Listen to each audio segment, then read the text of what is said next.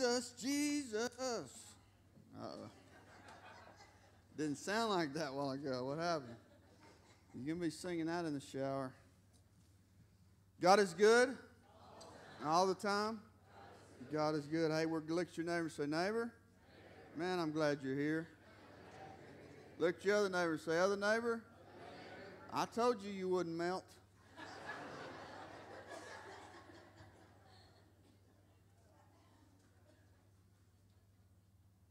It's a good day. Good day to worship the Lord, to give Him thanks, to give, ask Him for strength, to help us to get through the journey ahead. It's just a good day to be in the presence of the Lord. If you have your Bibles today, turn with me to Psalms chapter 46.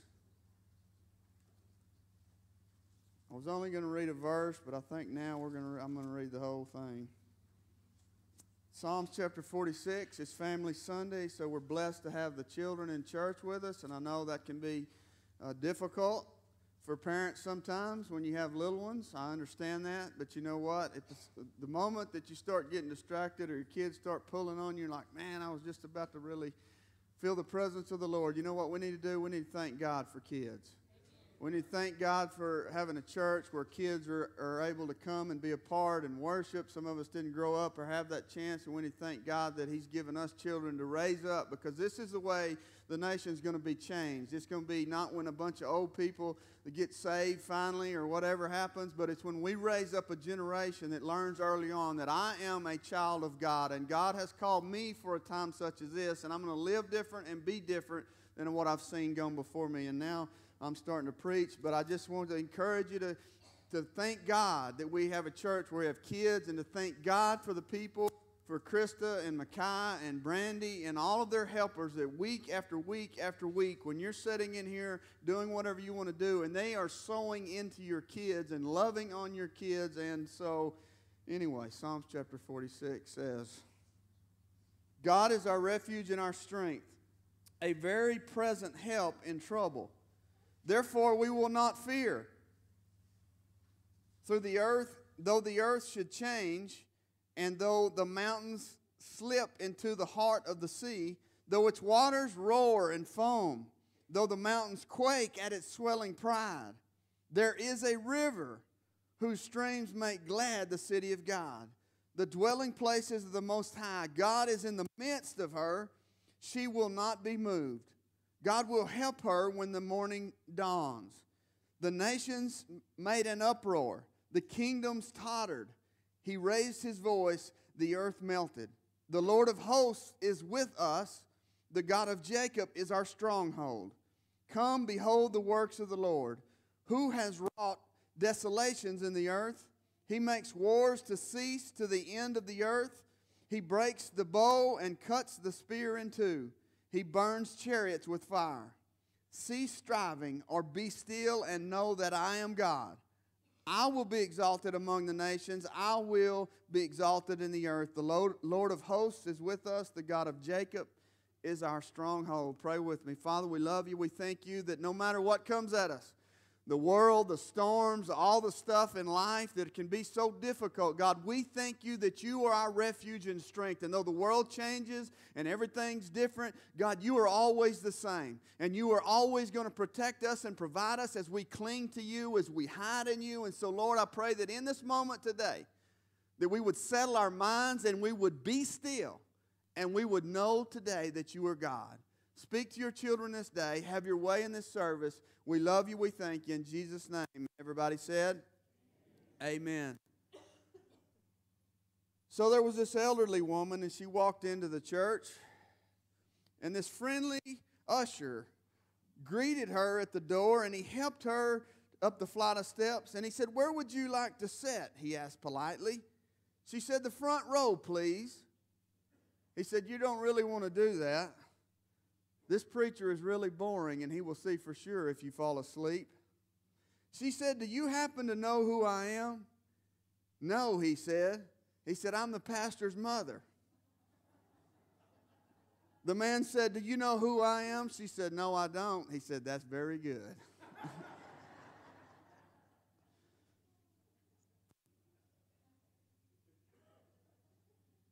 So we're talking about habits of happy people, and I know it's a little bit silly, or it seems like it to me, and I've been t- reading a silly joke every week, but the reality is, I know it's true in my life, but it's good to smile. And it's good to laugh a little bit because there's so much in this world that just S-U-X. You know what I mean? And I mean, we just get down and depressed and seems like we're never going to make it through this day and this situation. And uh, it's just good to laugh. It's good to smile. It's good to think on good things. You know, we know this. There's plenty of bad habits to deal with. There's plenty of things in life that we fall in and get into the rut of we just going to do it this way and go emotions. And, and we're really not trying to talk about too much to the bad habits through this, but just considering the fact about maybe there's habits that would improve our life, that might bring a little bit of joy. At the very least, they're going to strengthen us to, to get through some of the moments. I mean, there's plenty of tough stuff in the world, and we just need to understand that, that we live in this fallen world and stuff happens and storms come up and things that I don't understand. It wasn't the way I planned it, and there's disappointments and there's breakdowns and there's droughts and there's economy crashes and things happen to me because other people did them to me and other I'm affected by them and I didn't know it and I didn't have anything to do with it. But there's plenty of stuff that just gets us down and makes it very difficult, and it's just the fact that it's good to have some things.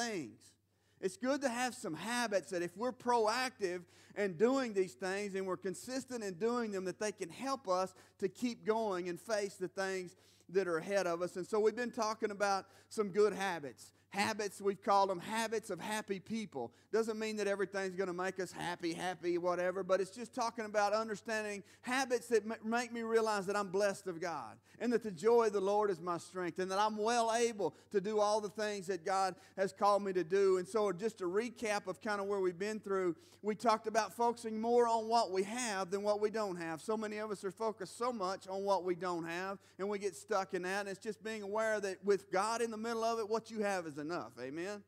We talked about being generous. You know, we're all trying to keep our little our little pile together and stay out of my patch and all this stuff. But the reality is, if we want a full and blessed life, we're going to have to learn how to be givers. God is a giver. And the most blessed people that are happy and successful, they're people that give. I, we, I did a funeral yesterday in San Angelo, and that was the biggest trait of his life. Everybody knew him by the gifts that he gave. He gave gifts to kids. He served at the Texas Boys Ranch in San Angelo for 40 years. This man was a giver, and I'm just telling you that you and I have to make it a habit to be generous. Generous with our time, generous with our money, generous with our love, generous with our prayers we have to be generous because if we don't make it a habit, we're not going to do it. We're going to be focused on gathering up my little chicken and my little pile and all that stuff. The last one we talked about last week, a couple, enjoying the journey. How many of you know sometimes it can feel like you're in a rut? Amen. We all want to be on the mountaintop and we can get focused on this pit that we're in. But the reality is that even though I walk through the valley of the shadow of death,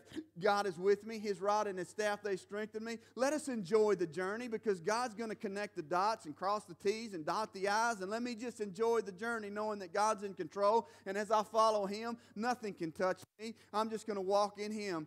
And the last thing we talked about was you know what? There's some things in your life you don't like, change it. Quit complaining about it, make a change. Michael Jackson said it. He said, Hey, it starts with the man in the mirror. I'm not moonwalking today, although I've been challenged to do it, but I might just do it. You know, I can moonwalk.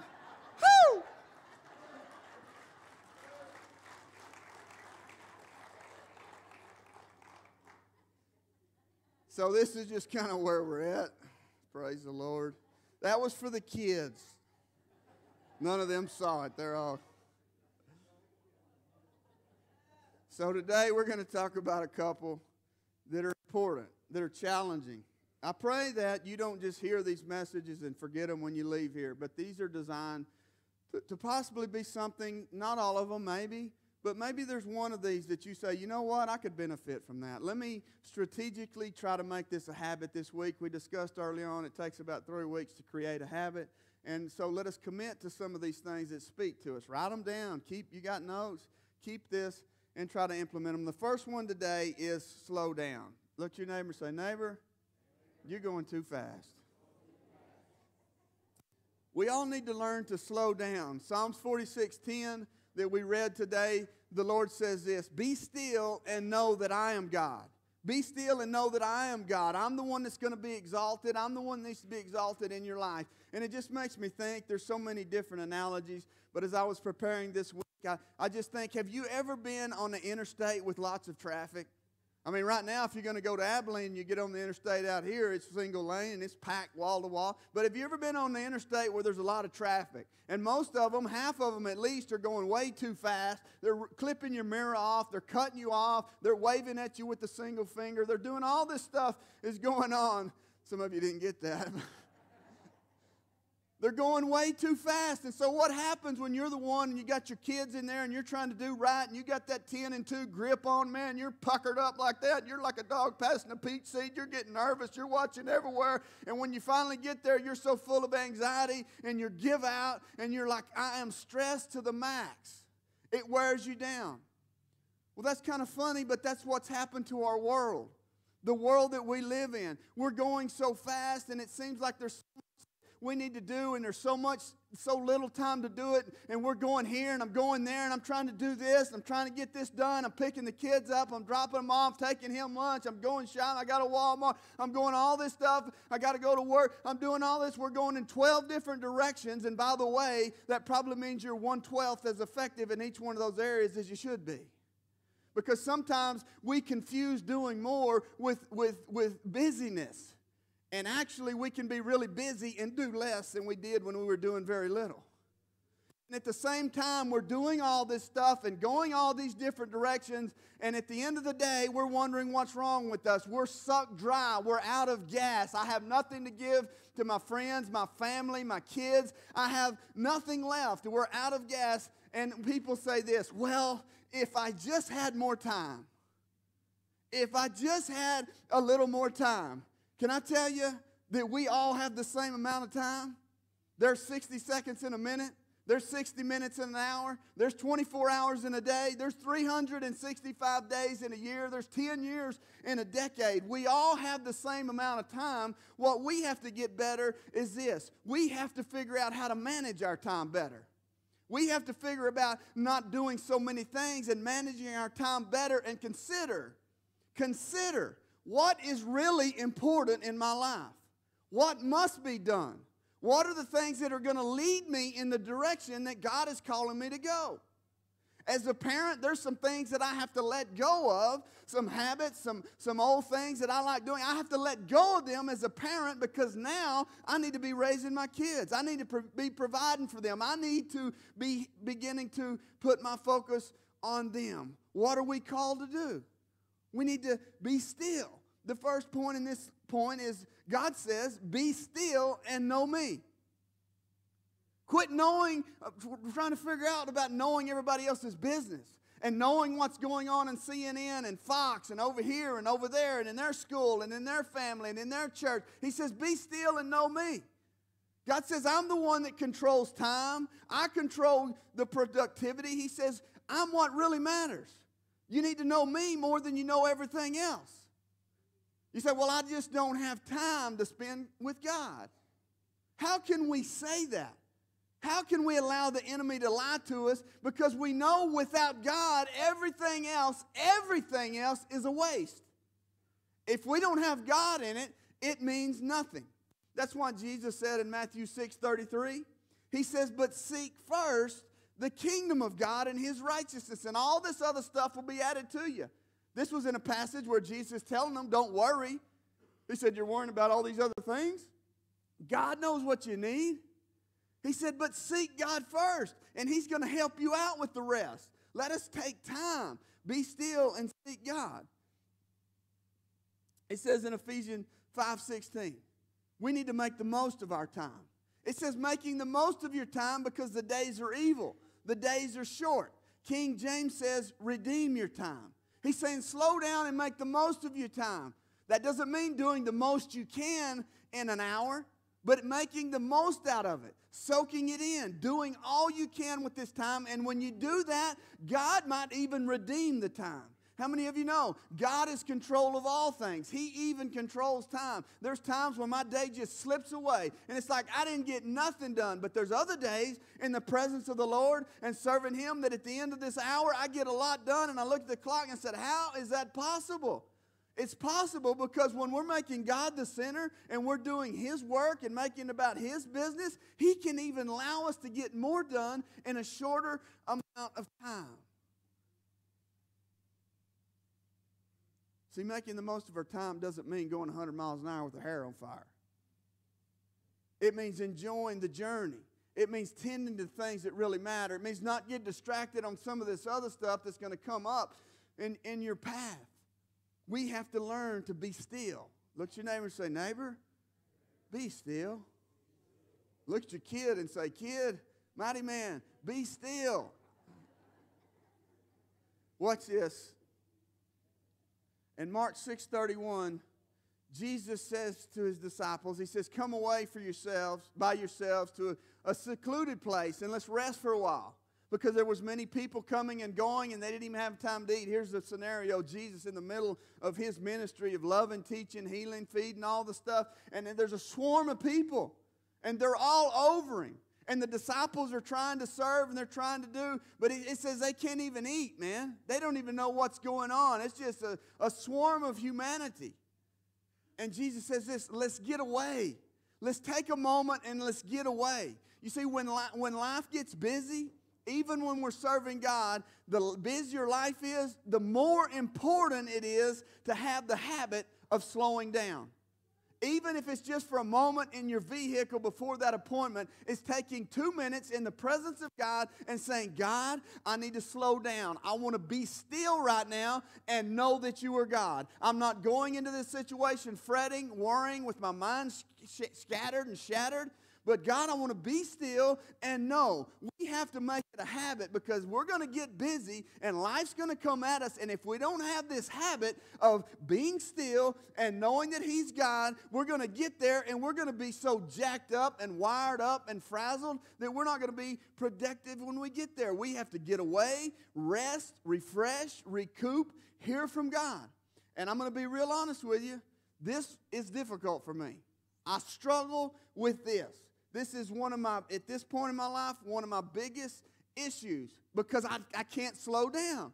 I can't slow my brain down. When I lay down at night, all I do is think about who was at church and who wasn't at church. I lay down and I think about what I said and what I didn't say. I think about what we need to be doing. I think about the issues. I think about who's sick. I think about all this stuff and I'm thinking about my kids and I'm thinking about what needs to be done at home and I can't shut it off and I have a hard time saying no and I can't relax and I just can't stop. And when I do, if I take a few hours and I go play golf or I do something just set, you know what then? I feel guilty. And I feel like, and so I'm just being honest with you. I'm confessing the Word of God says confess and you will be helped, forgiven, something like that. So I'm just saying, I struggle with this. But the reality is, slowing down and being still in the presence of God is a sabbatical command. God says, I give you the sabbatical. I'm commanding you. Why? So that you can be blessed, so that you can stay healthy, so that you can refocus, so that you can be motivated and effective for what you do going ahead. Because what happens is when I start doing too much, the same way with you, all of a sudden I become less effective than I was when I was doing half as much. Does that make sense? This is just something that God tells us. 1 Kings chapter 19. Elijah has been running and gunning, man. He's a mighty man of God, a mighty prophet of God. He has just called fire down and destroyed 850 false prophets. He's glorifying God. He's got it going on. And at the end of that, guess what? He is smoked. He is done, even to the point where he doesn't want to live anymore. And in verse 4 of 1 Kings, it says, But he himself went a day's journey into the wilderness, and he came and he sat down under a juniper tree, and he requested that he might die. He said, God, it is enough. Take my life. I'm no better than my fathers or anybody else. I'm done. This is what happens to you and I. We eventually get to this point where I'm done with church. I tried serving. I tried showing up. I tried a prayer. It doesn't matter. Nobody cares. Everybody's mad at me. This, that, and the other. And we just get burned out. And then that's exactly where he was at. But then he did the right thing because he got away. He quit looking for people to admonish him, and he quit looking for somebody to give him the answer or any of this stuff. And he got away, even though he was done, but he got away and he slowed down so that then the Lord could come and nourish him. And the Lord healed him and prepared him for the journey ahead. We have to learn to get away so that God can heal us and God can nourish us so that we can be prepared for what's in front of us. And he was reminded of this I need to be still and know that He is God. Can I tell you that when we keep this in our mind, that God is God. And I take these moments, even sometimes they're only little micro moments in a day, but I'm just going to be still for a moment and remind myself that He is God. And when we keep God on the forefront and we're seeking Him first, we're going to be able to handle anything and everything that this world throws in front of us.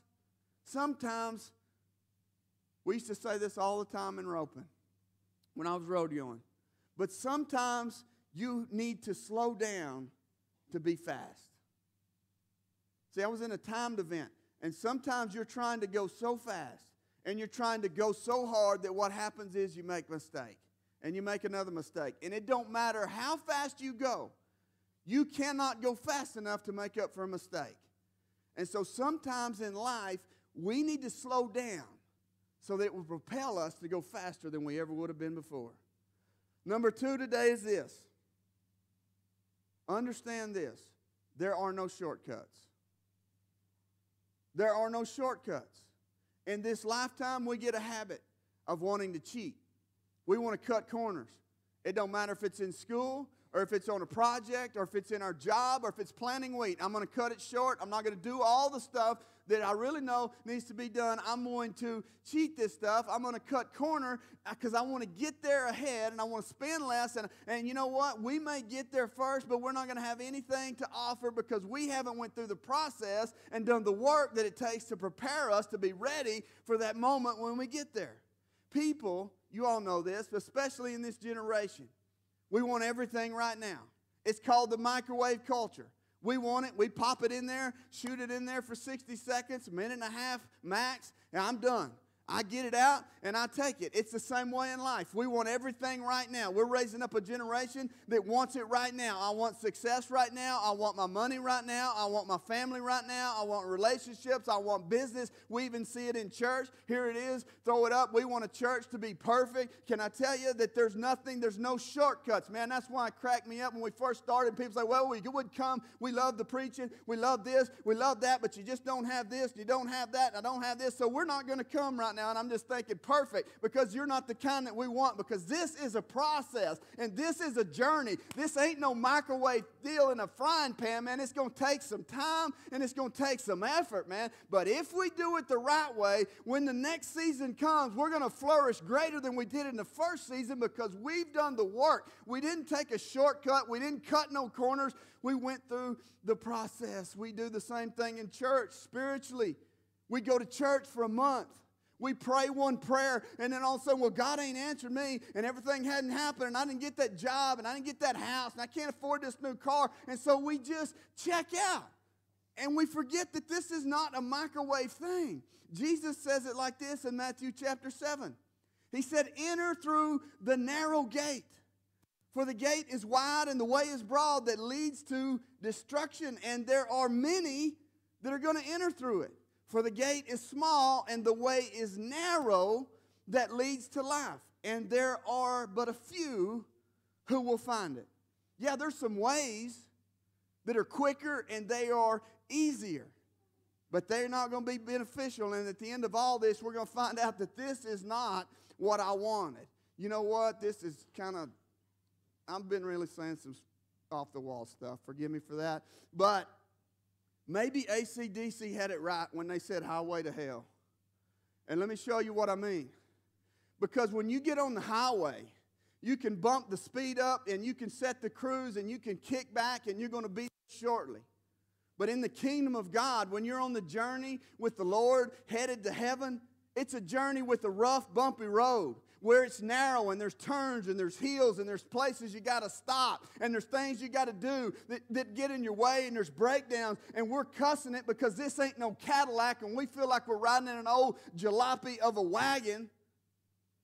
and we don't understand that going this way is going to get us to where we need to be. Going this way is going to prepare me for these pit stops in life where I can be used by God. See, we're looking for a shortcut in life, and shortcuts are costly. Proverbs 21 5. It says, The plans of the diligent lead to advantage. But everyone who is hasty and in a hurry and cutting corners surely comes to poverty. He's saying this blessed is blessedness is attached to faithfulness. One who's willing to go all the way. One who's willing to go through the fire. God says, Man, I'm not just going to bless you, but I love you so much, I'm going to take you through the baptism of fire. You're not just going to speak in tongues, you're going to learn how to do battle on the other side of this thing. I'm going to take you through the process of refining you and changing you and making you into a warrior. You can get in a hurry and you can take a shortcut, and you know what it leads to? Mistakes and poverty. Oh, it looks so good. Can we be real? Some of us growing up, some of us still dealing with some of these things right now. It looks so good. Here's this opportunity. Here's this girl. Here's this pile of money they're promising me. Here's this thing. If I'll just cut here, if I'll just go this way. And Proverbs 14 12 says, There is a way that looks good. There was a way that seems right to a man, but in the end, it's death. In the end, it's destruction. Let me tell you something. Shortcuts in the world are costly. They're going to catch up with us. But shortcuts spiritually destroys you. It takes you out because it gets us off track. It gets us going another way than the Lord's leading us. And God says this I give you the way, I give you Jesus. He's the only way. He's the way, the truth, and life. No other way to get to the Father. He's the way. I'm giving him to you. Now follow him. Jesus hanging on a cross said, It's done. It is finished. You are loved. You are forgiven. You are redeemed. You are made new. You are empowered. You are delivered. You are provided for. I've done it all. But now check this out. Philippians 2:12 says, "Man, I love you, but now do this. You did it in my presence, now did it do it in my absence. Work out your salvation with fear and trembling." He's saying, "Forget the shortcuts and be willing to go all the way.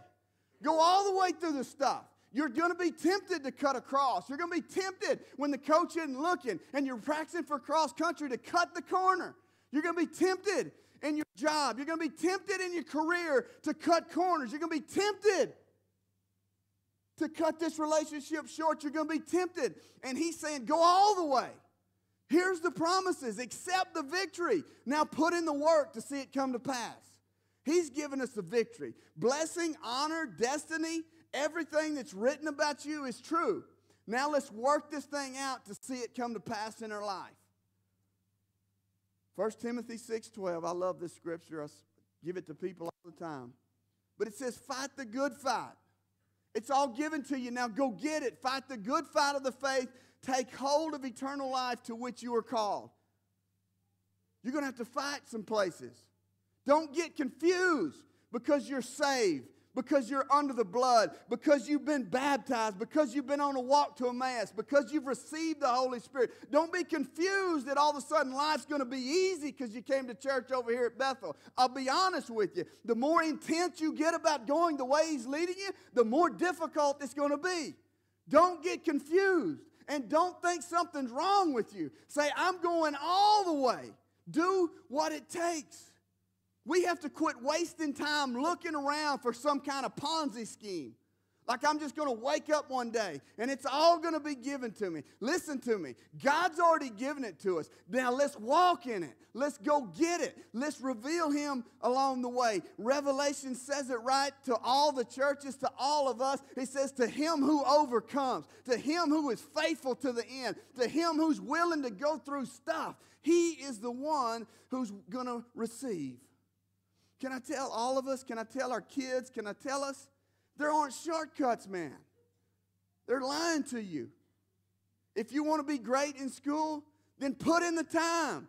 Do your work. Don't cheat off of somebody else. Don't cut corners. If you want to be great in athletics, man, put the work in, man. You may have shot good in practice, but keep practicing. If you want to excel, keep doing it. If you want to be great in relationships, you're going to have to go through heartbreak and you're going to have to go through people irritating you, but go all the way. Because this is going to make you be able to experience great relationships.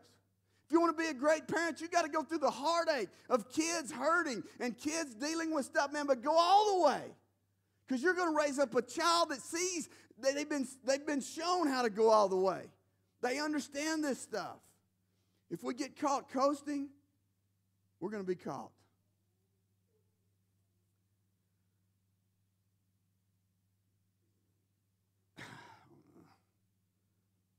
You know what? I don't, I don't know very much.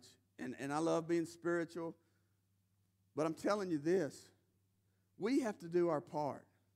God does everything for us, and we have to do our part. I just, it's part of my mentality of growing up, and I've been so blessed. But in all the stuff that I've won and all the stuff that I've achieved, you know what? It really wasn't because I was more talented than anybody else. But it's because I grew up, not because I was doing it for God, but because I grew up with an inferi- inferiority complex, basically, thinking I wasn't as good as somebody else. And so what that did was it made me work harder. And I always had this mindset. No matter if it was in school or if it was in basketball or especially in my roping, my mindset was all, always this. If I'm not practicing, somebody else is practicing. If I'm not working, somebody else is working. And I'm not saying that's all that healthy, but I'm saying this spiritually speaking, we have to be willing to do the work. And you say, well, this goes just the opposite of what you said a while ago slow down. No, it doesn't. They go together because we slow down and we know that He is God, and it strengthens us to go all the way with Him. Let us learn how to do work, even in church, man. I pray for the anointing of God, but can I tell you, it doesn't happen because I don't read the Word of God all week. It doesn't happen because I don't pray but one time a week during church. It happens by the Spirit of God because I put in the time and I stay up late. I'm not saying I do anything, I'm just saying God's enabled me. And I want you to see that it's not magic. It's not a potion, but it's people when we're willing to work under the anointing of God and seeking Him first, then then there are no limits with what God can do.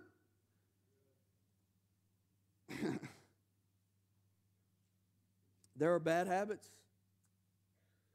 but there are also good habits if we're willing to implement them. To, the two today, number one is we can get in the habit, we all get in this habit of trying to do too much too fast, and it'll end up costing us. At the very least, it's going to run us out of gas.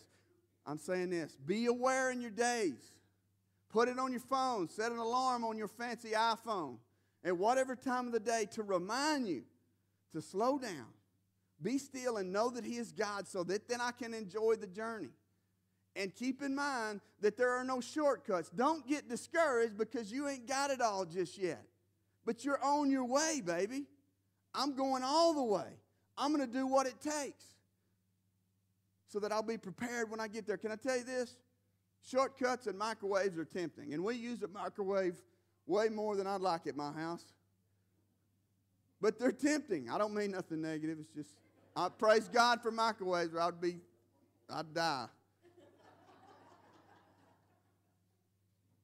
But I'm saying this microwaves, y'all got me in trouble with the way you laughed at that. God, I, I love you, baby. You, I'm just. Shortcuts, microwaves are tempting, but the good stuff, the good stuff is slow cooked. It's baked, it's grilled, it's simmered, it's taken time for it to come. Let me tell you, and I'm done. Music team, y'all can come. Elijah, told you the story about Elijah. I, Elijah was smoked and he slowed down. He slowed down not so that he could be done and go to heaven or whatever. He slowed down. If you read the story, you'll understand. He slowed down to prepare him.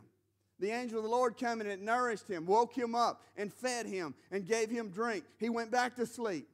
He woke him up a second time and he fed him and he gave him drink. And the angel of the Lord said, This is to prepare you. You need your strength, for the journey is long ahead. And right after that, he got up and he ran 40 days. Ran. Slow down, not because you're done, not because you're being lazy, but to prepare you for the journey ahead so that you can go all the way. Pray with me. Father, I love you. I thank you for this day. God, I thank you just for your anointing. Lord, just the stillness in this place. I just sense it even with our kids. And God, I just pray that even at a young age, the young ones that are here, they would just begin to know that you are God. They would just begin to have a yearning to know you and want to accept Jesus when the time comes. But God, for the rest of us, Lord, as we're here today, and if we're all honest, God, I'd say 80% of us are, are, are going way too fast and our minds going in too many different directions. And Lord, I just pray that this would be a defining moment when we just heard the voice of the Lord. Not a scripture, not a sermon, but the voice of the Lord saying, Slow down, be still, and know that I am God. For I am the one that will be exalted above your workday, above your kids' ball games, above your roping and your stock showing and everything else. I will be exalted. God, just just give us that sense to know that you are God and that you're with us and, and you do give us strength and you are our refuge and our strength and an ever present help in time of trouble because we're taking these moments to know you.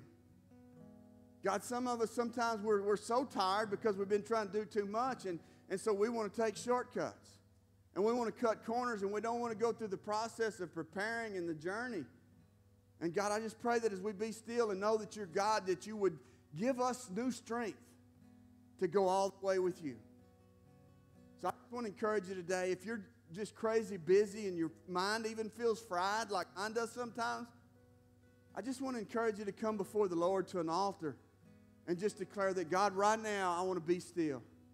God, right now, I'm taking this moment to just be still in your presence, that nothing else matters in this moment because I want to remember and know that you alone are God. And God, for some of us maybe that have been wanting to give up, and we've been looking for a loophole in life. And God, I just pray that by your Spirit that you would empower us today to go all the way. So if you're weak and you feel like you can't make it or you're looking for a corner to cut, I would encourage you to come. Just like Elijah in the presence of the Lord, that you would be nourished and that you would gain strength for the journey ahead. God, I just pray that you move in this place. If you're here today and you don't know Jesus, you can be still or or go all the way, but if you don't know Jesus, you're doing it for nothing. At the end of the day, what really matters is Jesus. We sang about it earlier, but Jesus, Jesus. He's the way. It's His name that'll help you battle fear, anxiety, stress, whatever you're dealing with. It's Jesus. He came and died for you so that you could be saved. If you've never accepted Him today, He's offering it, and all you got to do is say, I want that. If you've never done that and you want to receive Jesus or accept His sacrifice, just raise your hand Just raise your hand. Say, I need Jesus. Thank you, Jesus.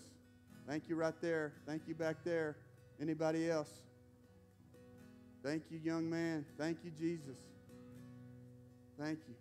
Father, you see the hands. I just pray that even in this moment, they would just know that you are God and the love that you have over them would cover them, God, and would again strengthen them for the calling on their lives. God, I just pray that you would move now as we close. The altars are open. Let your kids go. You know what? If the Lord's speaking to you and you got a kid with you, we'll help you with your children. Right this minute, just what is the Lord saying to you? And if He is, feel freedom to respond today as they sing over you. Let us worship the Lord.